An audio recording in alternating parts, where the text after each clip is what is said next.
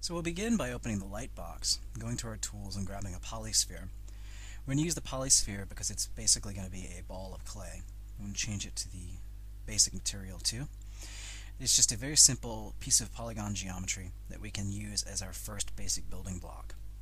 And we're going to go to the geometry menu and then just leave the Dynamesh resolution at default, select it and click no on the pop-up. Now you can see that it rebuilds that into a Dynamesh. It's slightly more um, dense resolution, but not too much. Now using the move brush, I'm just going to shape this into, into the, the form of a rib cage.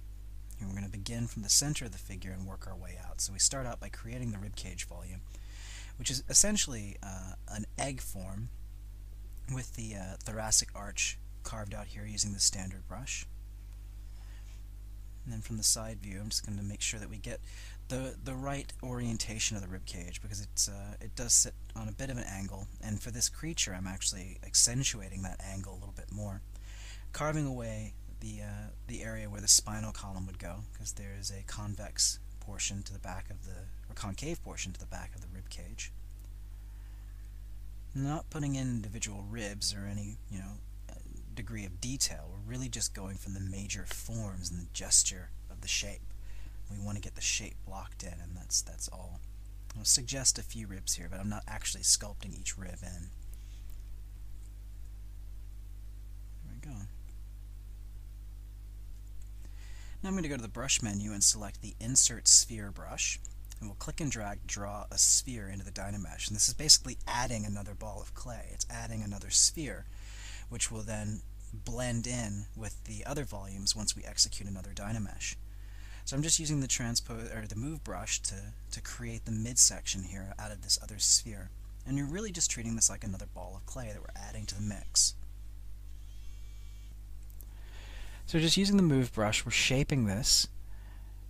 And I'm inverting the mask now so I can actually use the transpose rotate tool to adjust the, the uh, positioning between the, the waist and the rib cage. And once I'm happy with, with how everything's lined up, all I need to do is, actually I'm just going to bring this out a little bit here to accommodate the pelvis. You clear the mask and then control click and drag a second time and that executes the Dynamesh. So you clear the mask first with control click and drag and then control click and drag again and that executes a Dynamesh and actually creates our, uh, our Dynamesh volume. It takes the rib cage and the waist and then merges them together into a single model. And that's how we're going to do this entire process. We're going to add pieces of clay or add parts, position them, shape them, then we're going to Dynamesh them together so we end up creating a single volume out of the aggregate pieces. Uh, that's the process of Dynamesh, is building up shapes and building up the volume as you need it, updating the volume as you work.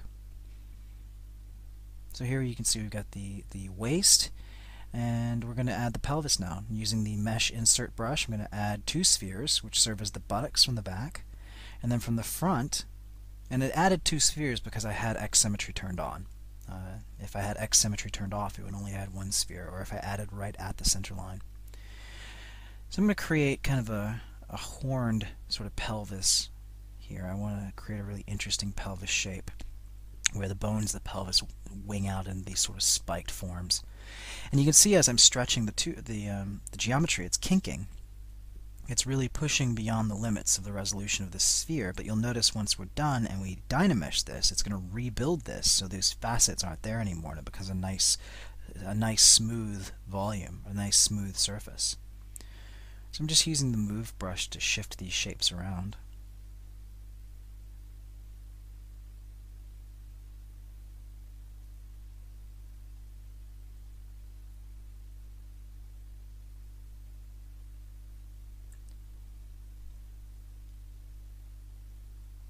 Now clear the mask with control click and drag. Actually not quite yet. I'm going to change this. Now clear the mask and then control click and drag a second time to execute the Dynamesh and you can see that it rebuilds this area so I no longer have the problems with the polygon faceting where it was stretched. i suggest the, the navel there. And and just using the standard brush, I'm just going to suggest the abdominal forms just sketching in the different the divisions between the abdominal muscles.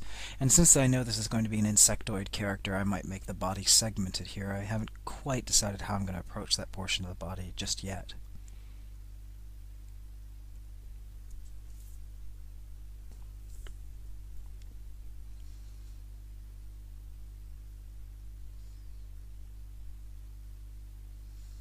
So I'm just going to make a few more adjustments to the form of the torso using the, the move brush now that I've got the abdomen and the pelvis in place. I'll mask out these points so I don't affect them with the move brush as I'm working near them. This way I can correct the lower back and the gesture of the what will be the spine.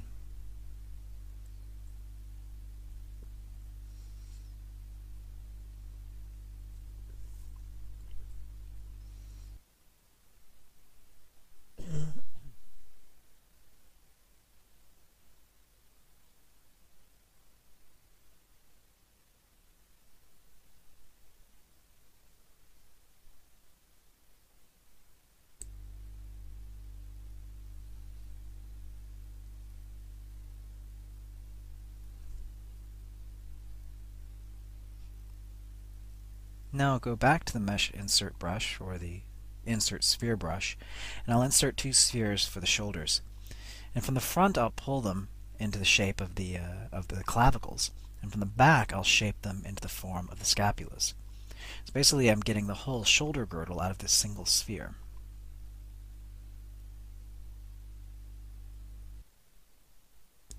By building up the figure like this in this modular fashion, we're able to, to make sure that the parts intersect and interrelate to each other accurately, uh, just like we were building it out of uh, you know individual pieces in the real world as a, as, as a clay model.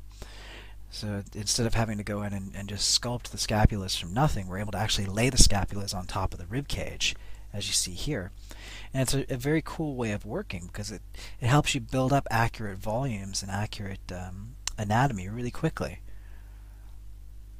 And we don't have to be um, you know, completely representational here. We're just trying to suggest the, the collarbones. We don't have to go and sculpt a lot of detail in them yet. And we'll dynamesh those together. You can see how that corrected all the, the little faceted pieces where the geometry was getting stretched and it merged it all together into a single volume.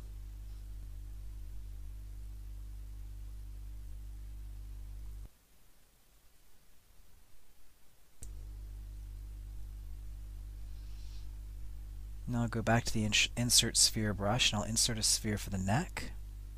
And then using the move brush I'll stretch it and position it.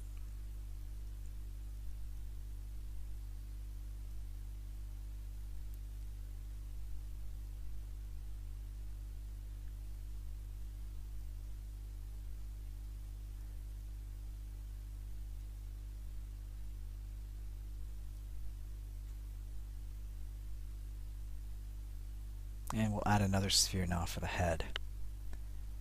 And as we add spheres, you'll see that it masks the previous sphere. So each time you add a new mesh insert, it'll mask the previous ones. And that allows you to manipulate the most recent addition. So I'm going to shape this into kind of an insectoid head, and I know that this character is going to, to feature a head that's got um, a repetitive structure to it. So I'm going to create the first segment of the head, and then we'll duplicate that and, and shift it further back and create the entire head by duplicating one instance. So we're making sort of the uh, insectoid ant kind of head here. I'm going to suggest some mandibles. And we're going to suggest where the eye sockets are going to be.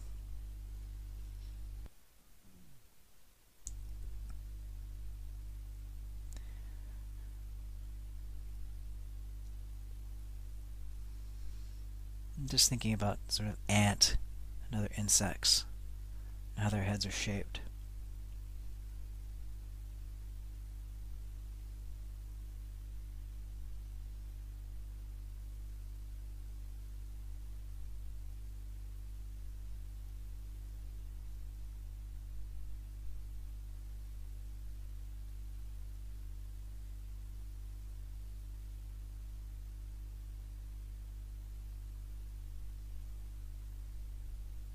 I don't want to get into too much detail here. I'm just trying to get the general shape of the head to begin with.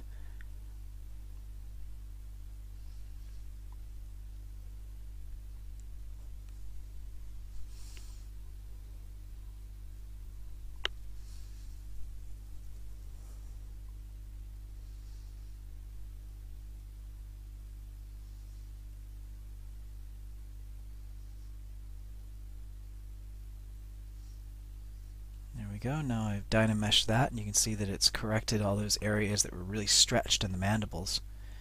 And it's created an entirely new underlying base mesh where it's blended all these parts together and it's corrected any areas where the geometry was just stretched beyond its limits.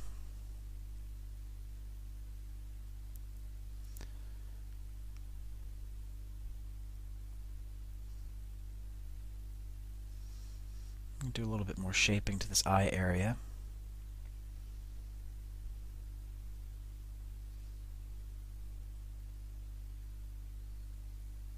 And we'll save our work.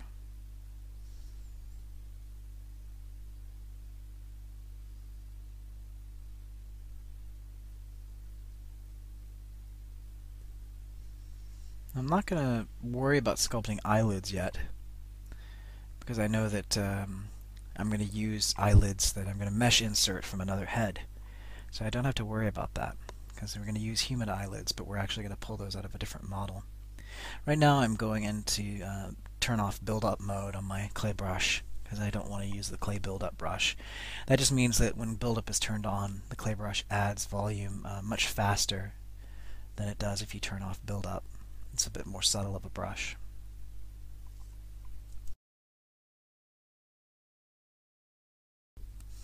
Alright, we're about ready now to start duplicating the head and, uh, and transposing it back and creating the full shape of the head. And we'll do this by going to the subtool menu and I'm going to clone that subtool, making a copy of it. I'm going to go to the insert, or excuse me, I'm going to go to the uh, selection lasso and I'm going to lasso select just this head, go to geometry and then I will uh, turn on turn click delete hidden and that deletes the body. And then you click close holes and it'll close the holes. So basically what I've just done is I've duplicated the body deleted the body geometry leaving the head and I've filled the holes. Now if I go back to the body go to my insert nose brush. Now you'll notice if I go to the brush menu here and then scroll down to the modifiers, there's a tool menu button. If I click that, I can select any tool to then insert with the brush. So I've selected that head subtool.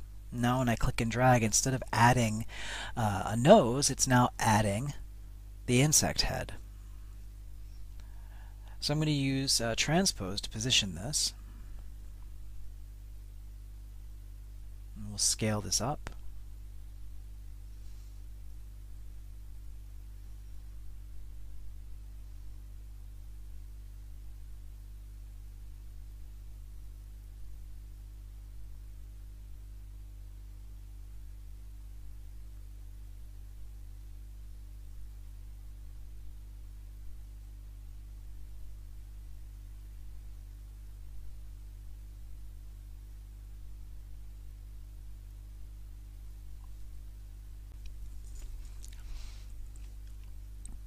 And then just using the move, move brush to shift these shapes around just so these two heads are lining up in an interesting way. What I'm trying to go for here is I want there to be a repetitive um, logarithmic um, reduction of the heads as they as they go back, or the segments, the segments as they go back towards the back of the head. So I will hold down Control and click and drag the center line here of the transpose line, and that's going to duplicate that insertion.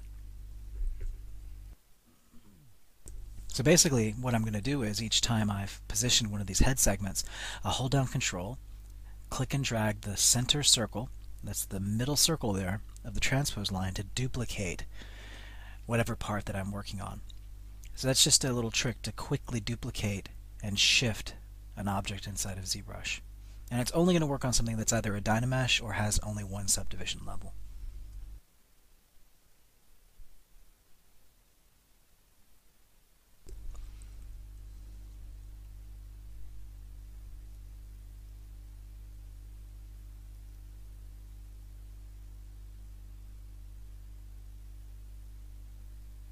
just want to reposition these parts. I'm just going to rotate them up just slightly.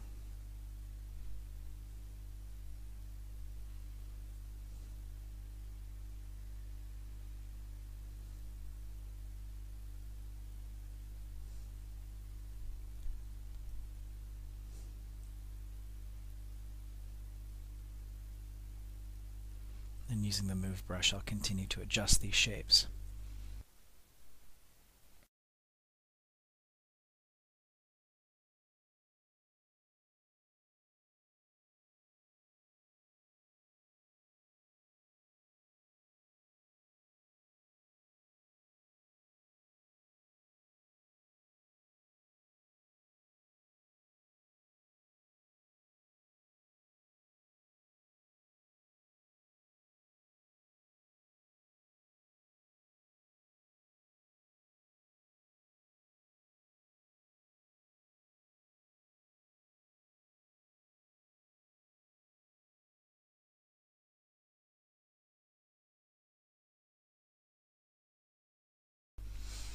So I want to go in here now and, and stretch the head and neck because I feel like it's a little too stumpy. So I'm going to mask out the body and then use the transpose line to stretch the head and neck up. I'm trying to give a more elegant line there, a bit more sense of grace there in the, the flow from the head down into the neck and the torso. You can already see what a vast improvement that makes. Now I'll mask out the neck now and just using the transpose line to rotate the head. There we go.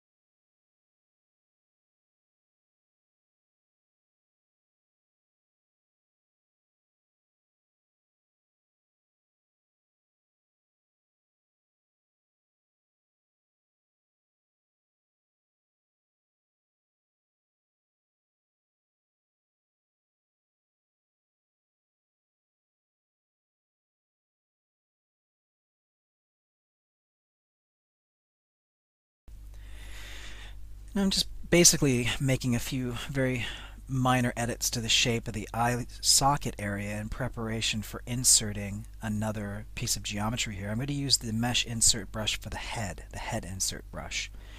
And I'm going to click and drag and what this does is it draws a head, it inserts a head into my current mesh.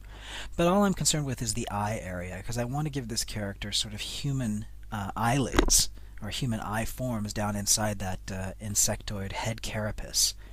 So I'm just using the transpose lines to position these heads. And I just want to get that eye geometry, that eye that you see right there. I want to get that centered inside that um, uh, that eye socket area. I'm going to scale it up and then move it, countersink it down into the head. And we're going to get rid of everything but the eye area. I'm just using the uh, the uh, standard brush here. Or the, I'm just going to push carve everything back into the head that's uh, not needed.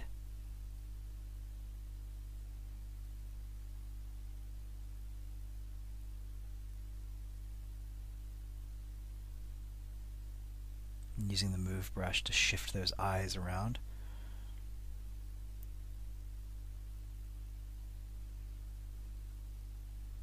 Just make sure that all the parts of the head that we're not using have been pushed inside of the Dynamesh. That way they won't be uh, incorporated in once we blend, once we Dynamesh the parts together. Anything that's sitting on the inside will just be deleted. And I'm going to rotate that eye a little bit. It's trying to get a, a good orientation for this eye form.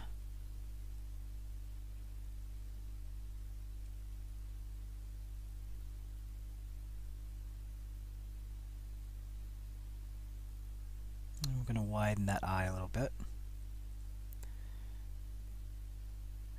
Right.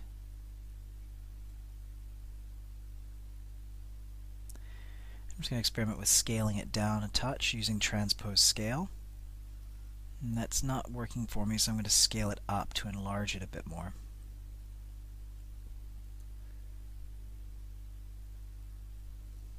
Now I'm going to use that trick I used before with control clicking and dragging to duplicate that inserted head. You can see it masked the previous one now. And I'll scale down the new one and use the same process just to position it so the eye, the fleshy human eye, is visible in that socket in the insect head. And I'll scale it down just a little bit. Each segment scales down just slightly compared to the, the previous one. And control click and drag to duplicate again and repeat.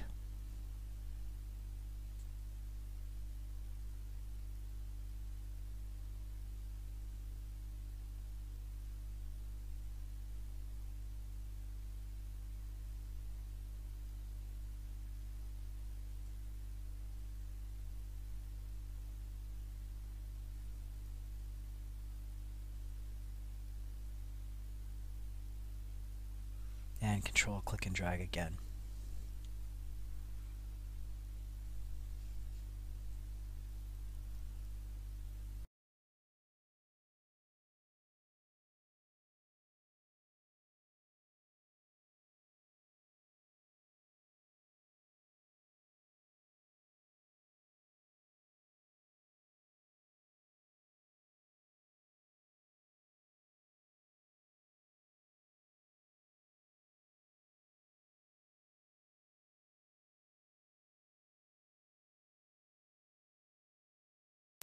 Now once we're happy, we'll clear the mask and then Dynamesh, and you'll notice it loses a considerable amount of detail. So what I'll do is I'll come over to the Geometry menu, and I'll raise my Dynamesh resolution. I'm going to turn that slider up. So let's undo, and then we will Dynamesh again. Raise that slider, and then Dynamesh, and you'll see it will retain far more of the detail in that eyelid area. It's going to take a little bit longer now too because it's it's um, it's having to process more geometry. But the underlying mesh is not uh, so dense that we can't continue to work in a very efficient manner. It's just giving us enough geometry to hang on to those sharp edges in the eyelids and give us the, the, the form there that we want to retain from those inserted heads. So basically we were just able to take the insert head brush and use just the eye area to create these human eyelid forms in each of these head, segments. And then we'll sculpt further detail onto that later. It's, uh, it's given us the rough shape for now, so we can continue working on the character.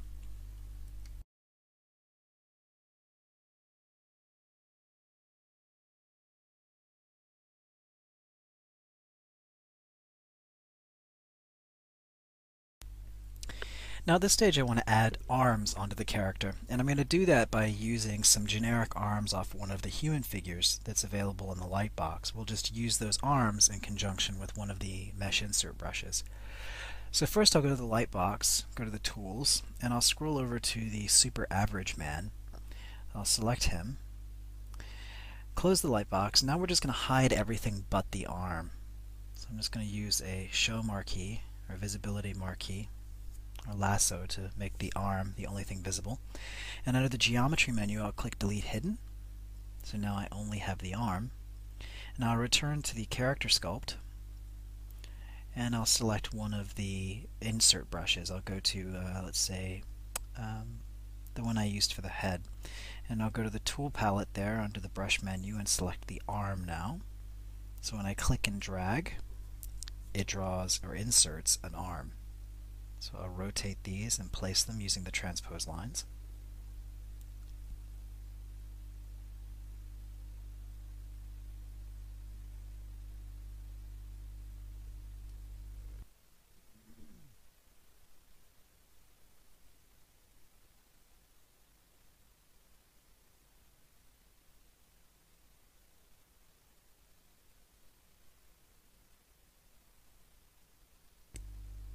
I'll just use the move brush to countersink those parts of the arms that we don't need into the, uh, the volume. And I'll use the transpose move line just to stretch the arms a bit by clicking and dragging in that last circle. That last circle will stretch if I click and drag in there.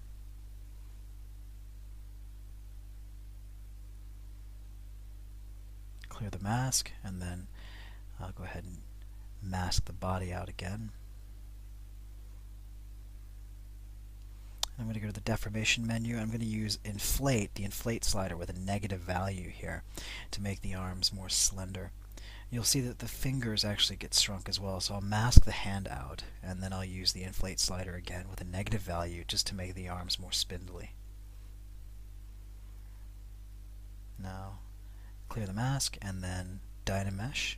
Oh, I'll just undo that because I've got these points on the back I forgot to countersink. So we'll push those inside the model and adjust the, the flow of the arm back towards the scapula now. And make that armpit deep.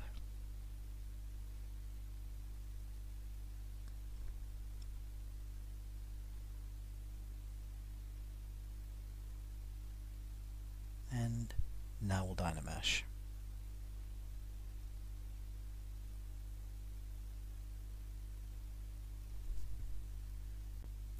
Now at this stage I'm just going to use the Move brush once the Dynamesh is completed just to make a few little adjustments using Move and Transpose to smooth back parts of the, uh, the facets in the arms here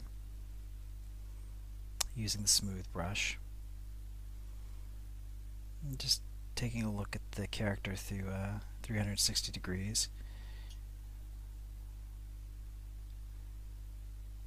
Going to mask out everything but the torso or the uh, the waist and the pelvis here. And we'll stretch this down a little bit using the transpose line because I want more grace in the figure. I want it to have a longer waist. And I'll continue making edits like this. I'm going to go ahead and let you watch this process and then I'll come back when uh, when we're doing another specific action that I want to talk about.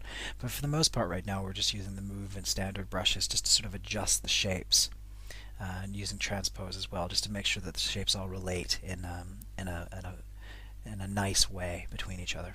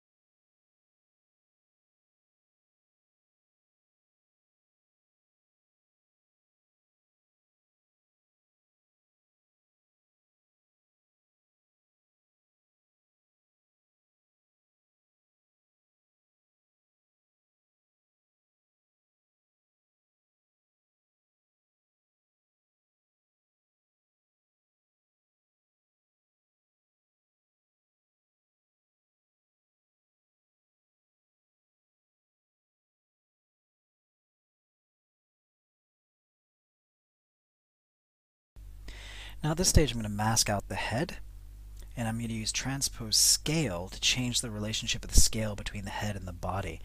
I'm going to scale the body or uh, to uh, change the relationship there so the uh, if I scale the body down the head's going to feel quite larger and I'm also going to transpose shift the body down again and then I'll use a transpose rotate line here just to adjust the angle there between the neck and the head and the body just to give it a little bit more um, of a graceful curve.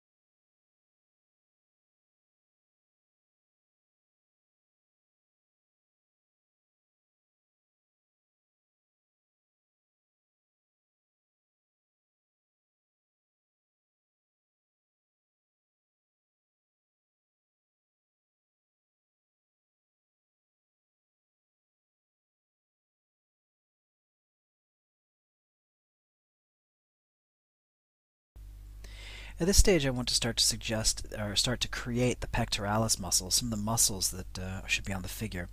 So I'll do that by going to the brush menu and selecting the curved tube brush. And the curved tube brush is going to allow me to draw uh, tubes of clay onto the surface of the model and then incorporate those together using Dynamesh. Uh, this is curved tube snap, which will snap to the surface. So if I click and drag, it's going to draw a, um, a tube of clay. And if I go to the, the stroke menu here and turn on size, what that'll do is it'll taper that tube. So if I draw it, you see it creates a tapered tube which has a kind of a muscle form to it. So I'm going to turn down my draw size a little bit here so I can make a um, make a smaller uh, or a, make a smaller tube. There we go. Now I can actually move this curve around. So you can see I can grab the endpoints and it's going to adjust which end it tapers towards depending on which endpoint I click. And then using the smooth brush I'll smooth some of this back and then continue to shift that curve around.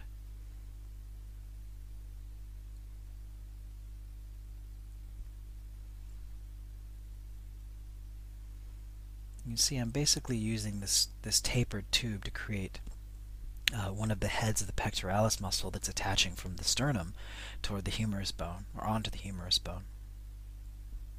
Just using the move brush to shift this volume around before I incorporate it into the main body using Dynamesh.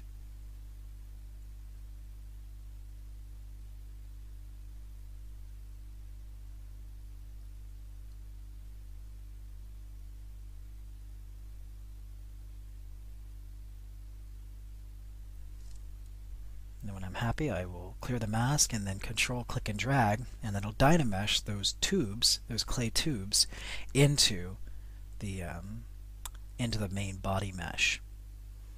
So these are actually uh, these these tubes are a really fantastic tool for laying in muscle forms, creating things like horns and spikes and other sorts of, of, of shapes on the surface of the character. We're going to use these extensively for this particular sculpture.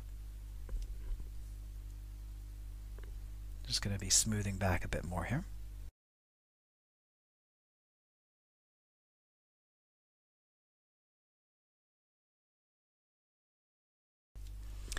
And again, we'll lay in another uh, muscle here using the uh, um, the curve tube brush. Just click and drag and it draws that curve. And then I can adjust the curve itself just by clicking and dragging while my cursor is blue and I can move the endpoints. And remember that it will widen towards whatever the last endpoint is that you touched, or if you touch along the length of the curve. And that's only while you have size turned on over there on the right side of the screen. If you have size on under the brush, under the stroke menu, it'll have that impact. So if I turn size off now, I can shift things around and you see what happens is it, it takes away the tapering. Now if I turn size back on, click one end, it'll taper towards the opposite.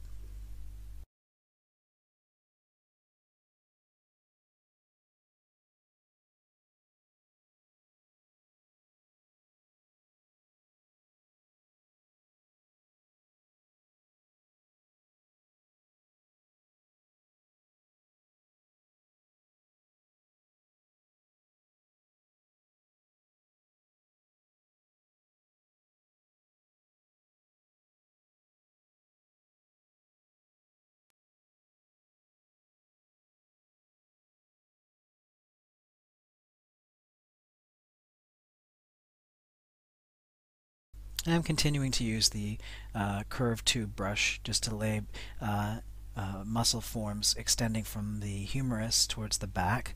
And we're sort of, sort of basing these on um, the infraspinatus muscles and the teres major and the minor, but we're taking some artistic license here. Uh, I'm just trying to create some interesting shapes uh, breaking up the silhouette in interesting ways, and experimenting with the idea of having some negative space right now between the muscle forms, which is pretty interesting. It's almost as if it's got uh, parts of uh, exoskeleton and then soft muscle tissue that's extending out from beneath that exoskeleton.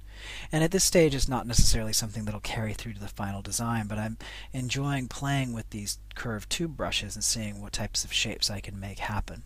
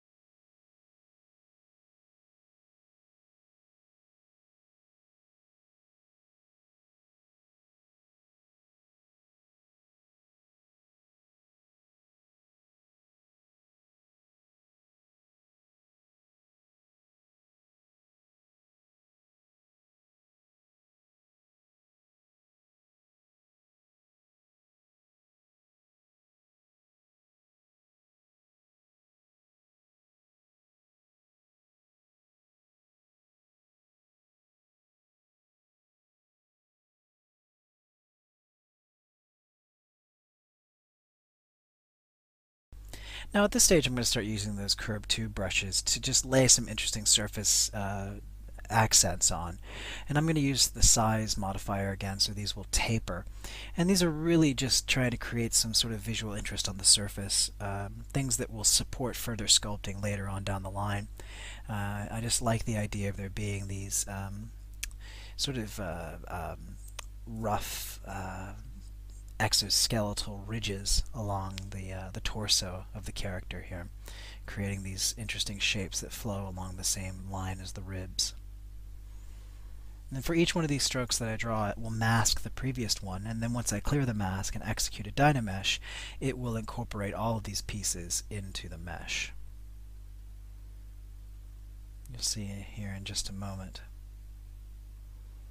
I'm going to draw some down the back.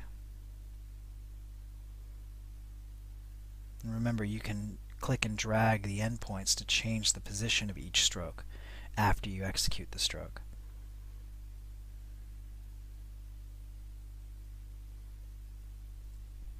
and I'll build up quite a few strokes along the neck to suggest uh, some arteries and cordage and mus muscular form uh, radiating up from the shoulder girdle to the skull.